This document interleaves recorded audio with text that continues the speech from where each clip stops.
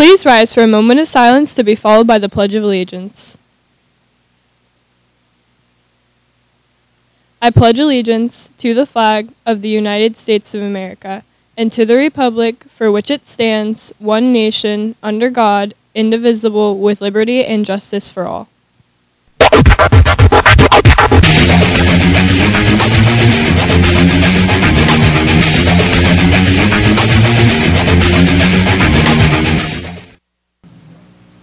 Good morning, BHS. I'm Emily. And I'm Eden, and, welcome, to Bash TV. Today is Thursday, February 23rd, making today the official 109th day of school and day one of the cycle.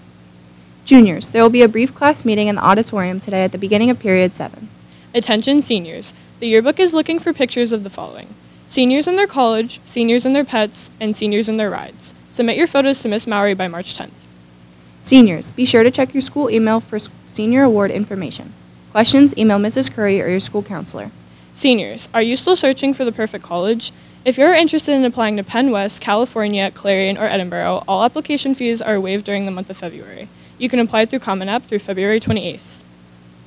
Seniors, Keystone College is hosting a FAFSA completion and instant decision night on March 1st from 5:30 to 8 p.m.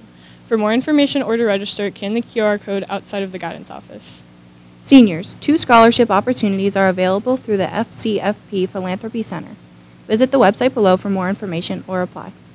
Congratulations to the following students who auditioned and have been accepted into the PMEA Region 4 All-State Chorus to be held in Williamsport this week. Jasper Martinez, Carly Kyle, Regan Welch, Anna Reinheimer, and Christopher Stola. Congratulations also to Reagan Smith and Jack Hendren, who were the first runners-up. The concert is this Friday at the Williamsport Community Arts Center at 7 p.m. Well, that's it for me. Now let's send it over to FYI.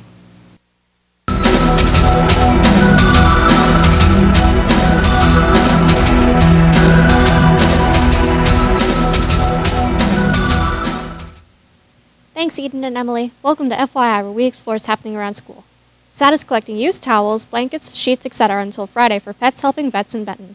Any donations can be dropped off in the library. There will be a debate club meeting in Mr. Gotham's room today at 2.40 p.m. The Central Susquehanna Intermediate Unit was awarded a grant to pay for students' training called SYNC. This stands for Supporting Your Needs in Community Healthcare. This career field is new and emerging.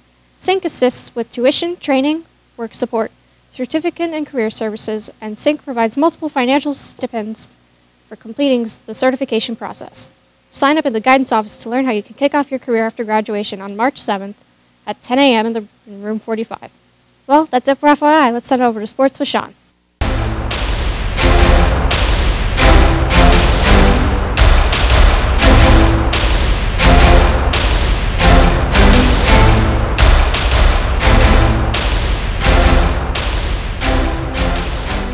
Thanks, Percy. I'm Sean, and welcome to Sports. If you play sports and want to have a quote in the sports section of the yearbook, check your student email for a Google form sent by Miss Mowry. Track and field signups are now available in the guidance office. The first practice will be Monday, March 6th at the varsity gym. A reminder to all students that a physical is required to participate.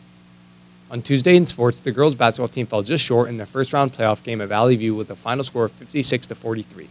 Rachel White Knight scored a game high of 24 points. Now let's check out today's birthdays. Happy birthday to Caitlin Allen and Olivia Temple. Well, that's it for Bash TV. Have a great day, BHS.